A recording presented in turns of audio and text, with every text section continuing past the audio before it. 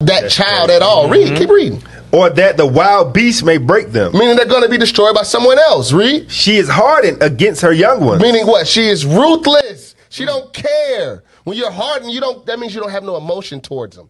Read it again. She is hardened against her young ones, Uh-huh. as though they were not hers. Them ain't my damn mm. kids. Mm. That's why Titus 2 is so mm. important. So you can be taught how to love them because if you don't, you're an ostrich. If you're not taught that, the chances are you're going to become an ostrich who is hardened towards her children and act as if those kids are not even yours. Read. Her labor is in vain without fear. Meaning she don't have no fear of God. She don't fear no judgment of God. This woman mm. went to the store after.